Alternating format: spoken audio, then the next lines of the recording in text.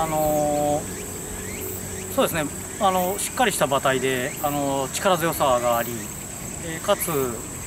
柔らかいあの馬だなと思ってました、はい、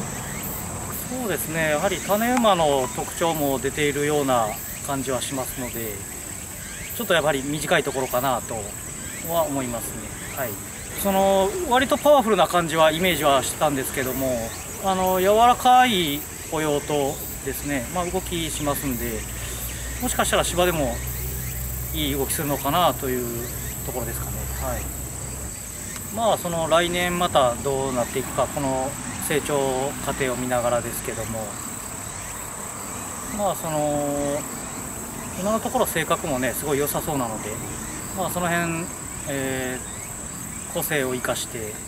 あの上手な競馬をねしていけるようにあのいろんなことを教えてあげられたらいいなと思います？ね。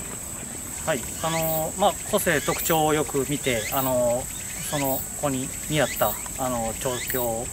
施しつつあの成長をしっかり見ながらあの一層一層大事にあの使っていきたいなと、えー、結果を出していきたいなと思いますのでよろしくお願いします。